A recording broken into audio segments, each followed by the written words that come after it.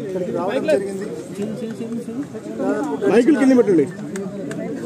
నాలుగు గంటలుగా పూర్తి స్థాయిలో ఆ బిట్టి కింద పెట్టబా ఐఓ గారు అడిగిన క్వశ్చన్స్కు నాకు తెలిసిన సమాధానాలన్నీ కూడా నాకు తెలిసిన డీటెయిల్స్ అన్నీ కూడా వారికి ఇవ్వడం జరిగింది.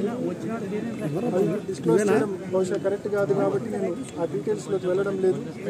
మళ్ళీ అవసరమైతే అవసరమైతే మళ్ళీ పిలుస్తాము. కొన్ని రోజుల తర్వాత అని వారు చెప్పడం జరిగింది.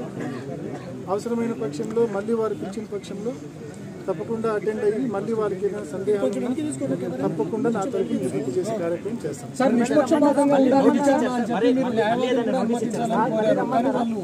అడిగిన మాట వాస్తవం. మీరే గమనించండి. గడిచిన కొంతకాలంగా ఈ కేసుకు సంబంధించిన విచారణలో ఒక సెక్షన్ ఆఫ్ మీడియా విపరీతమైన వక్రీకరణలకు గురి చేస్తూ ఉంది.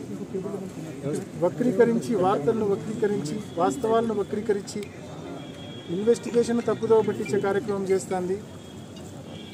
క్యారెక్టర్ అసాసినేట్ చేసే కార్యక్రమం చేస్తూ ఉంది. ఇవన్నీ జరగకూడదు అంటే నేను భావించా.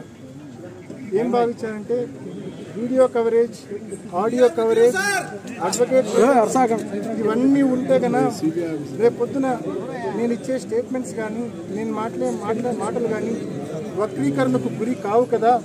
కాబట్టే ఆడియో వీడియో రికార్డింగ్ ఉంచండి. ట్రాన్స్పరెన్సీ కోసం ఫెయిర్ ఇన్వెస్టిగేషన్ కోసం అడ్వకేట్స్ కూడా along with audio video recording advocates కూడా అలో చేయమని రిక్వెస్ట్ చేశాం. మరి అయినప్పటికీ సిబిఐ ఐఓ గారు అది అలో చేయడం కుదరదని చెప్పారు.